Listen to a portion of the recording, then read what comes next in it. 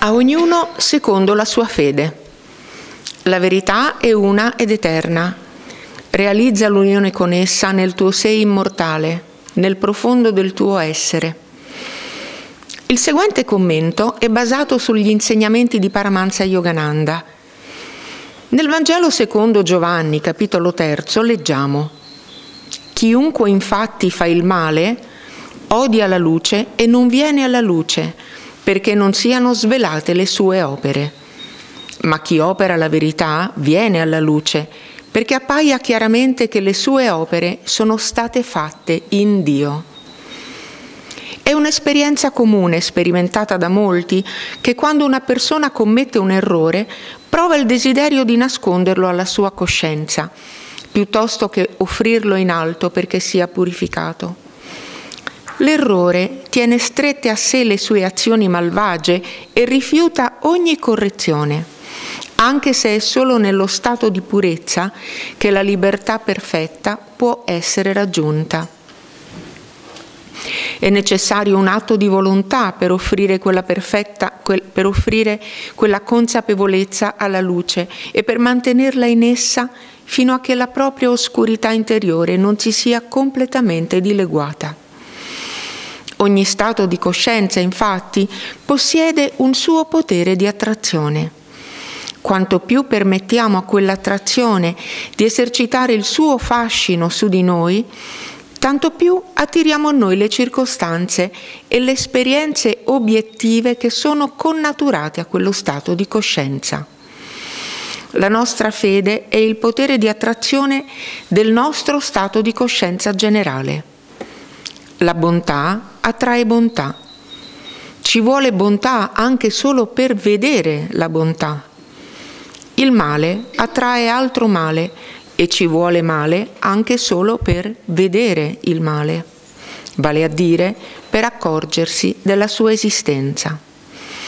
Tutto quello che in te è tenebra o luce, offrilo a Dio. Solo nella sua luce suprema troveremo la salvezza non accettare in te stesso quale tua realtà permanente nulla di inferiore a questo.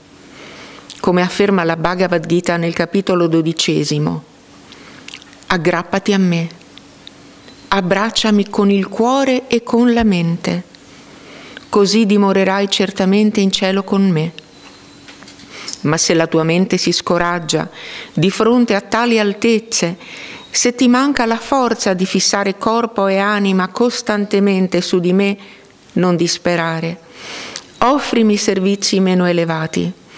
Cerca di raggiungermi pregando con volontà costante.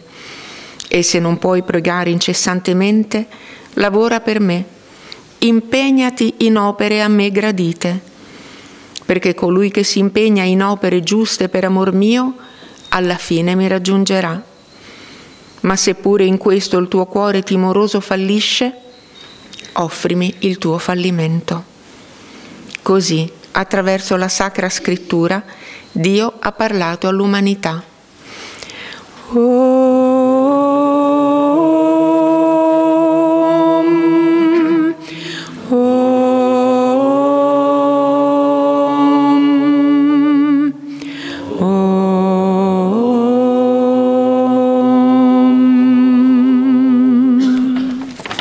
Domenica di nuovo, anche a tutti coloro che ci seguono via internet.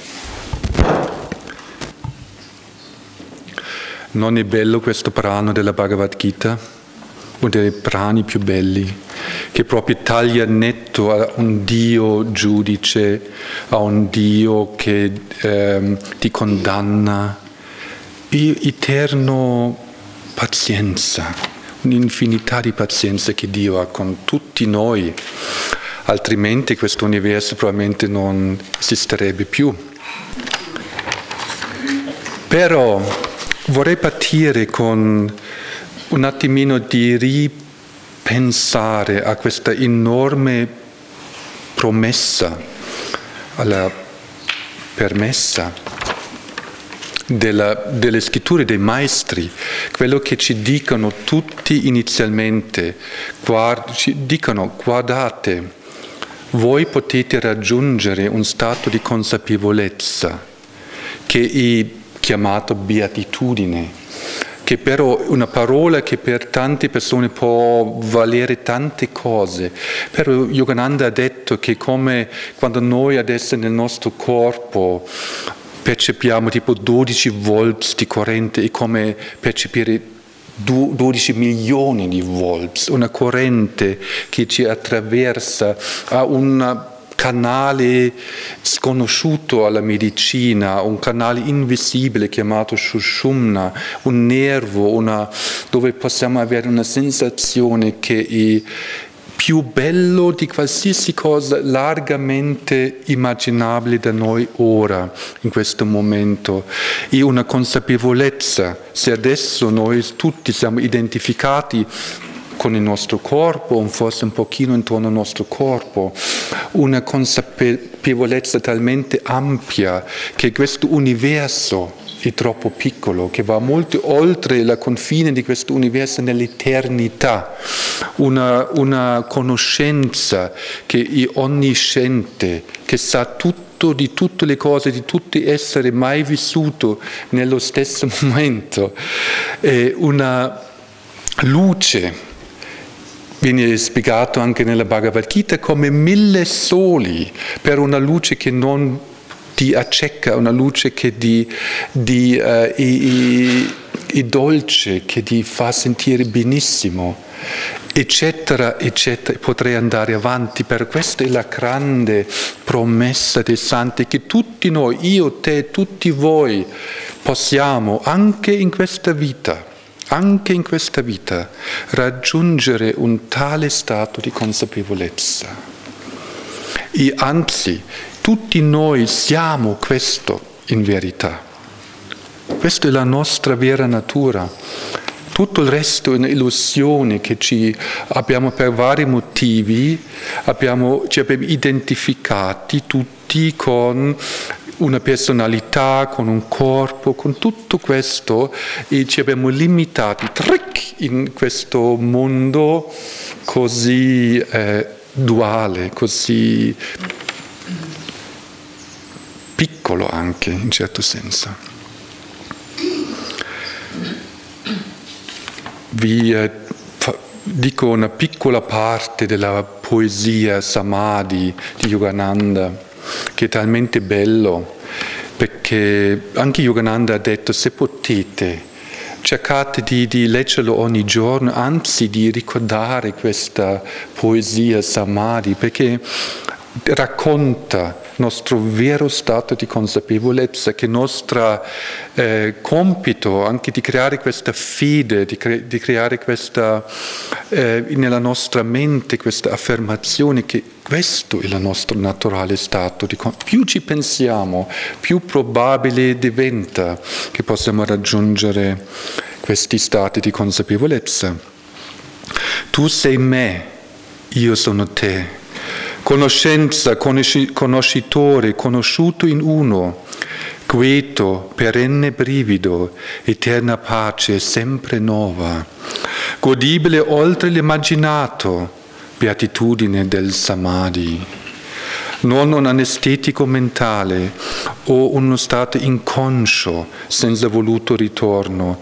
Il samadhi è un'espansione della mia sfera cosciente, oltre i limiti della forma mortale, fino ai più lontani confini dell'eternità dove io, cosmico mare, contemplo il piccolo ego che fluttua in me, dove io, cosmico mare, contemplo il piccolo ego che fluttua in me.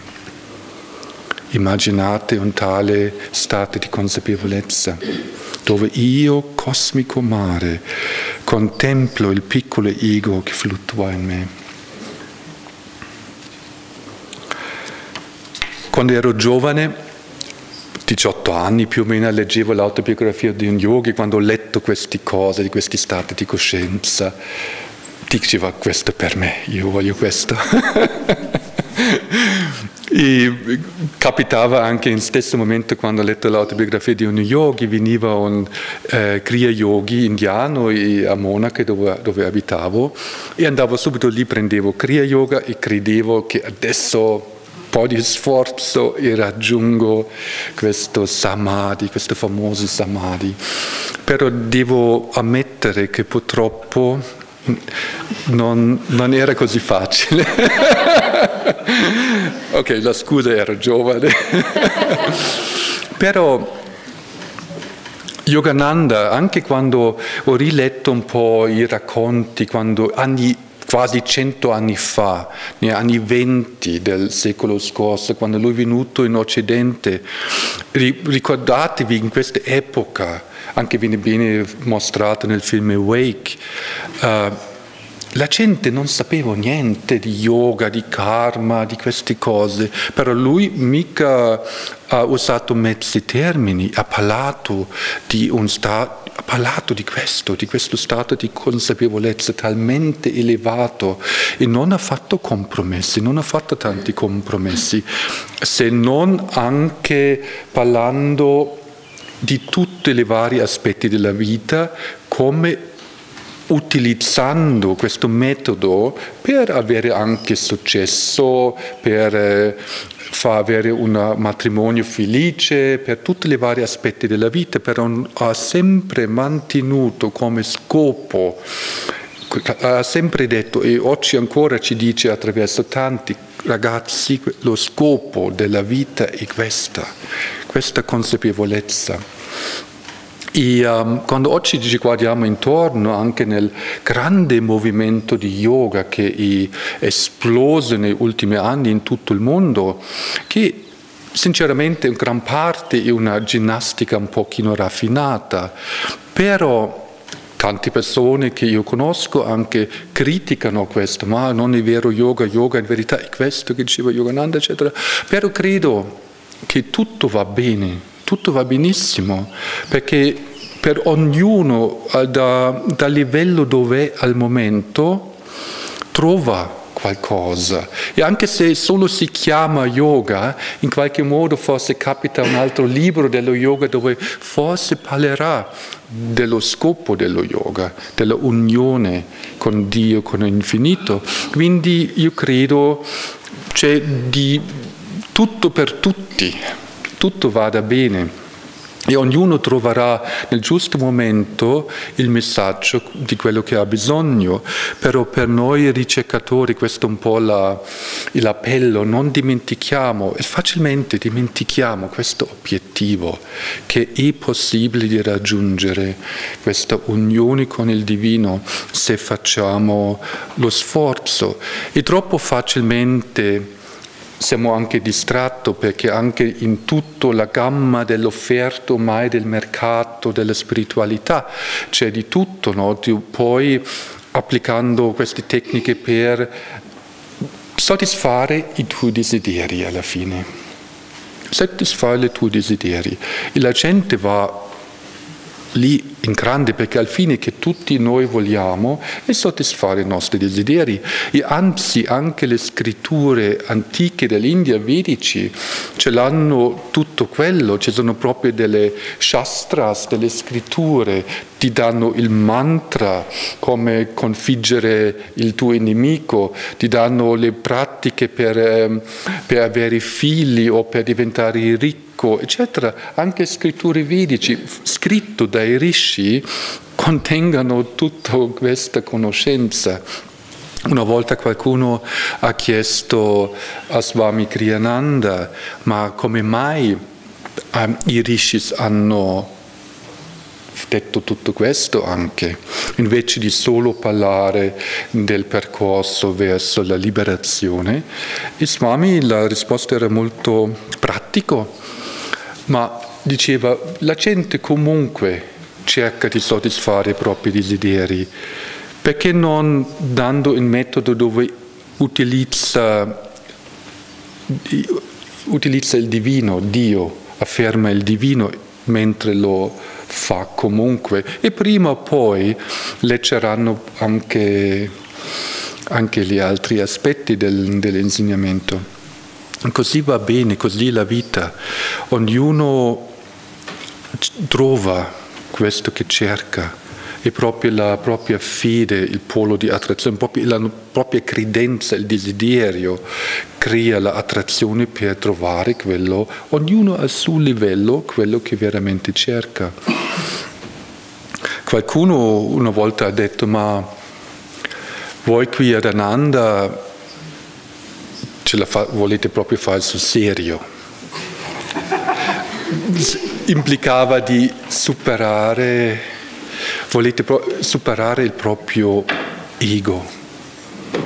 E, questo, e, quindi anche per questo credo ad Ananda e certi simili movimenti non ci sono mai le grandi masse della gente, perché a un certo punto va sul serio, ai punti dove devi lasciare quello che credevi da sempre che sei, l'ego, l'identificazione con la tua personalità, con la tua tuo corpo, la, tutto quella, tutte le la tua mente anche che pensa, no? sempre le, sente certe cose, le tue memorie, dopo un certo punto, il, eh, pian piano, non è che vada un colpo, no?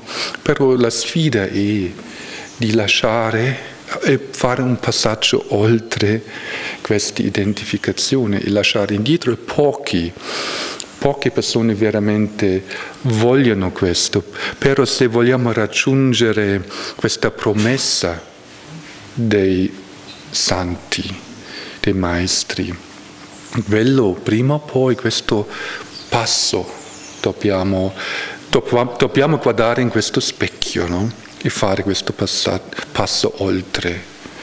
E loro ci continuano a urlare, dire, scrivere in tutti in tutti i modi e la vita ci, ci confronterà in tutti i modi, ci farà soffrire, ci darà qualche piacere e andrà avanti avanti anche per milioni di anni, fino all'infinito, non infinito no, fino quasi all'infinito, fin quando noi facciamo questo passo, lasciamo indietro quella che è una illusione della, di noi stessi, no? di identificarci con quello che non dà felicità, che dà limite, invece di identificarci con quella che dà questo enorme, grande stato di beatitudine, di estasi. Dobbiamo sceglierlo sceglierlo ogni secondo. Quando abbiamo dimenticato, non ci facciamo la frusta, no?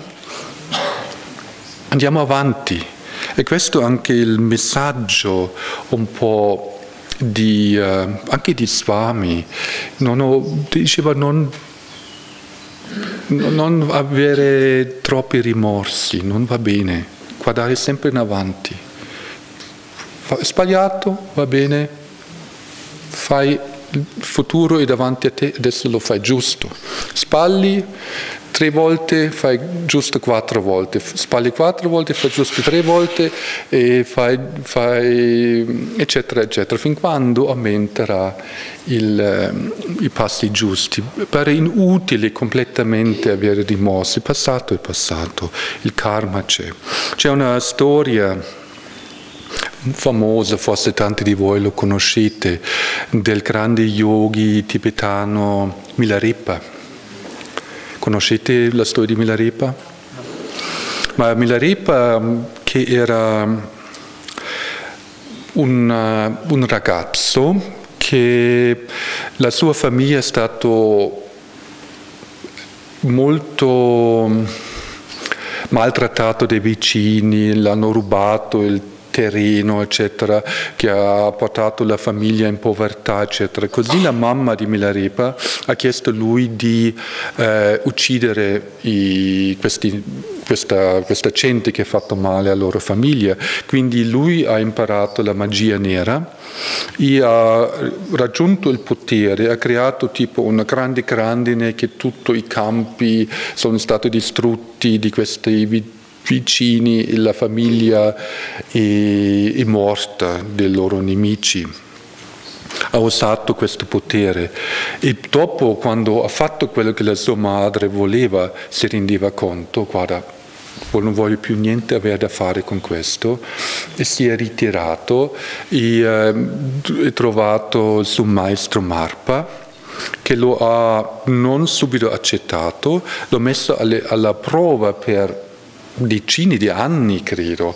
Lo faceva costruire una casa dopo l'altra. Quando era finito la casa diceva, ah caspita, forse ero ubriaco, non volevo la casa. Qui togli ogni pietra, lo rimetti da dove l'hai preso e lo rifai da un'altra parte. Appena finito quella casa diceva, ah caspita, ma mi ha distratto la mia moglie, eh, hai sbagliato tutto, rifai tutto, da, eccetera. Andava avanti, proprio diventato un simbolo per e lui, perché voleva il uh, vero insegnamento, subiva tutto questo, mentre lui lavorava, tutti gli altri discepoli erano intorno al maestro, lui iniziava nella meditazione, nelle pratiche spirituali, eccetera, eccetera. Teneva duro, alla, al fine ha avuto l'iniziazione e andava in una grotta a meditare per lunghissimo tempo e non digiunava principalmente, mangiava un po' di ortica, infatti si raccontava che lui diventava tutto verde perché se non mangiava ortica, no?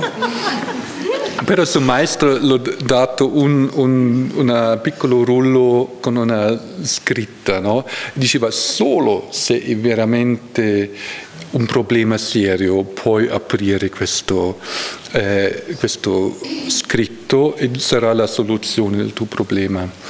E lui, eh, dopo anni, decenni di meditazione, non è riuscito ad andare, era sempre al, al confine con l'assoluto, però non riusciva a entrare nello stato di consapevolezza infinita. E dopo un po' di decenni diceva guarda è un serio problema. e quindi aperto e leggeva quello che il suo maestro ha detto e diceva il segreto è l'equilibrio. Tutto lì, il segreto è l'equilibrio. Però lui ha capito quello che significava e cominciato di nuovo a mangiare e con il cibo, con un riaggiustamento anche fisico del, del suo stile di vita, si è svegliato Kundalini e questa famosa corrente è salita fino alle centri più sublimi e lui è entrato in Samadhi diventava il più grande yogi del, del Tibet. Quindi anche lui, facendo questo grande peccato, ha ucciso ha usato la magia nera. Andando avanti c'è speranza per tutti noi se scegliamo. E alla fine non c'è nessuno che condanna se non noi stessi.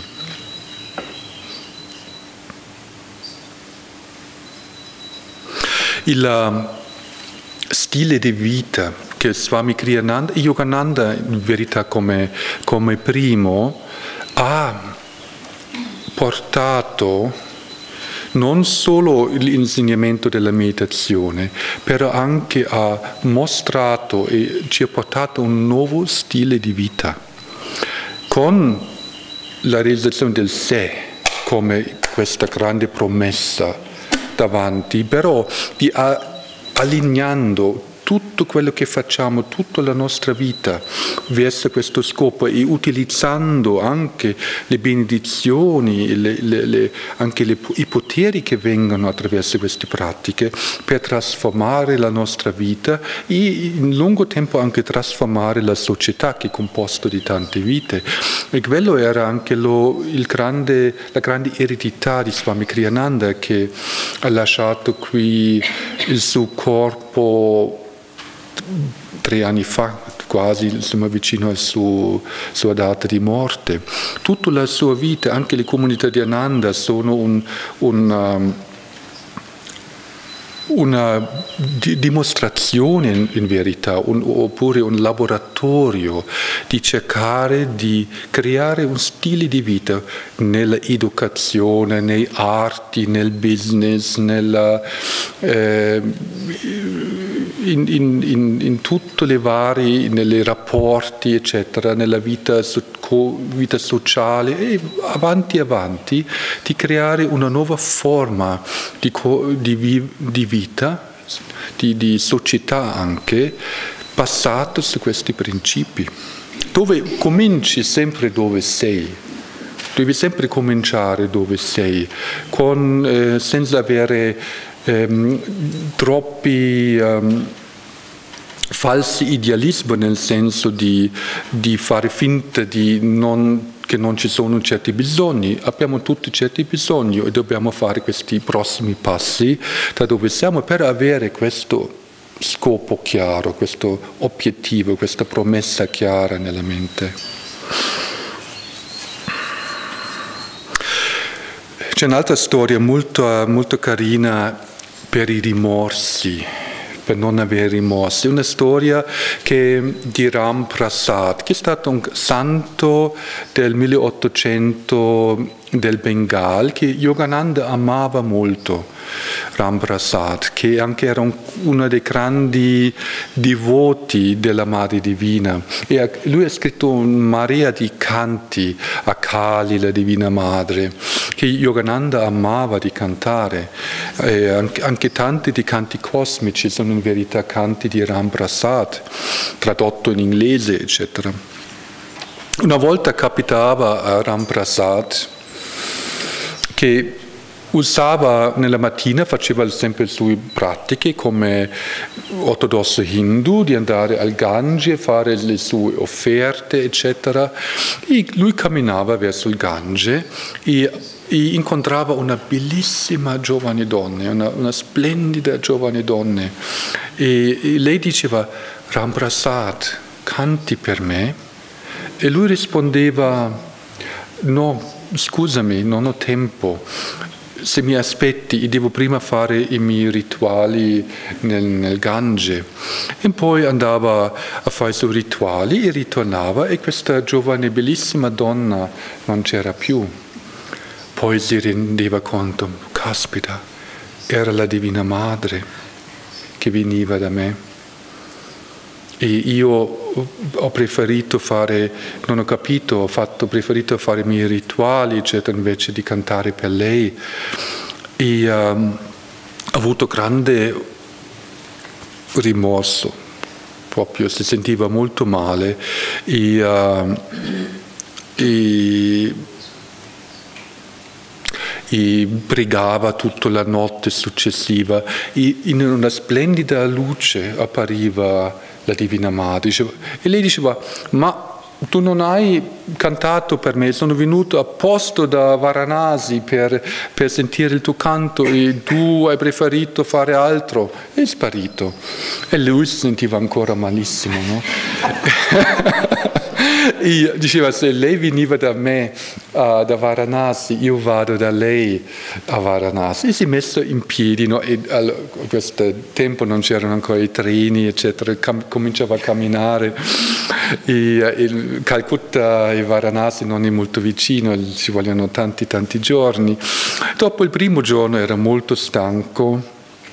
E uh, e, uh, però meditava e pregava come al solito e di nuovo appariva questa grande, grande luce del, e la Divina Madre appariva e diceva guarda non hai bisogno di venire a Varanasi perché sono ovunque, sono onnipresente e sono anche in te. E lui era felicissimo e non continuava, era immerso nella beatitudine. E quindi alla fine lì era un gioco della Divina Madre con lui, evidentemente. Lei anche quando entriamo in questo rapporto con il Divino più autentico, il divino risponde e anche diventa un, un romanzo. Yogananda l'ha chiamato il divino romanzo, come gioca con noi, fa un po', eh, fa anche dei, dei cose strane come in questo caso. Mi viene in mente un'altra storia di, di Ram Prasad che perché era, era un poeta, no? era un artista. Eh, che un cantante alla Divina Madre, però doveva anche campare e quindi eh, cercava un lavoro e è stato un po' preso un, in un ufficio di fare la contabilità. E uh, sapete, la contabilità non è un lavoro molto artistico, poetico, per, e, e, lui comunque lo faceva, però una volta eh, i suoi colleghi hanno visto che lui scriveva delle parole nel libro del contabile, no? E si sapeva non devi scrivere parole, devi fare sempre solo numeri. E si chiedevano ma cosa fa lui lì che scrive dentro il libro della contabilità? E poi hanno guardato e lui scriveva delle poesie, dei canti alla, alla Divina Madre. E quindi hanno chiamato il capo, il capo ha visto questo, era talmente, era un buon capo, che era talmente commosso che ha detto va bene, eh, ti pago comunque e tu vai a casa e scrivi le tue canti per la Divina Madre. No? Forse era un altro gioco della Divina Madre con lui, no? che così lui ha lasciato poi una grande eredità di canti sublimi alla Divina Madre e poesie di quale anche il eh, zona del Bengala in India è famoso per la bhakti, per la devozione alla Divina Madre.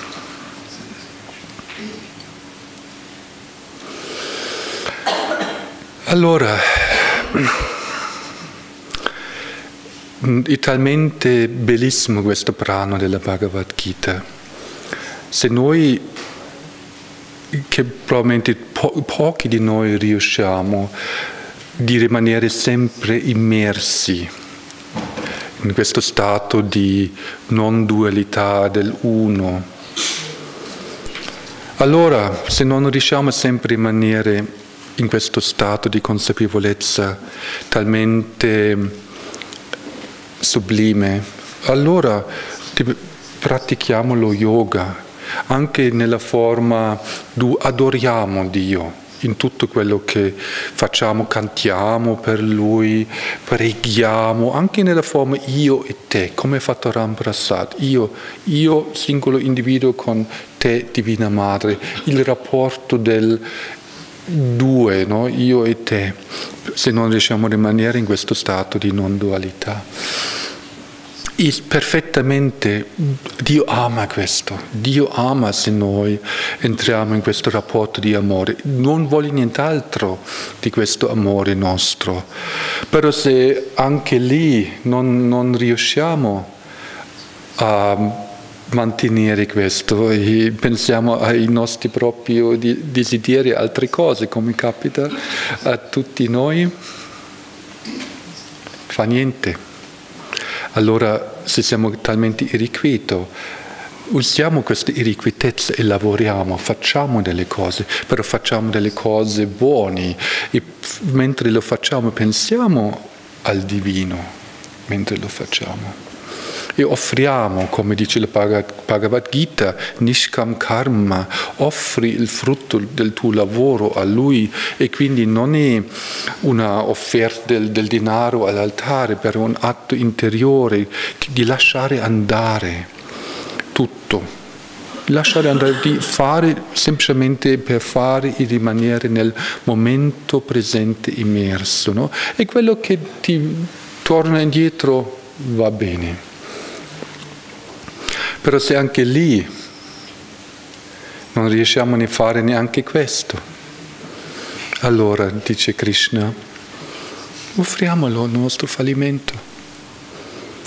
E non importa, basta in qualche modo sempre, se ci rivolgiamo a Lui, questo che Lui cerca. C'è la infinità del tempo e pazienza e tocca a noi di fare i nostri sforzi. Corriamo, continuiamo a correre indietro, tut, ma alla fine, se siamo onesti, anche dopo tanti anni sul sentiero spirituale, ci sono sempre tanti desideri, piccoli, grandi, che rimangono in giro, no? che è loro che ci legano ancora a tutto questo. Però se man mano aumentiamo questo desiderio per il divino, che diventa più dominante, e questo, come dice Swami in questa lettura, no? alla fine la tua fede vuol dire la tua credenza, no? quello che tu nella tua testa, non solo testa, nel tuo cuore in verità, perché l'energia, la volontà, il desiderio del cuore che crea, che la co-creatrice della nostra realtà il desiderio del cuore, il citta, il movimento creato della nostra volontà, della nostra energia, che è il polo di attrazione e non è talmente facile controllabile della mente con affermazione, eccetera.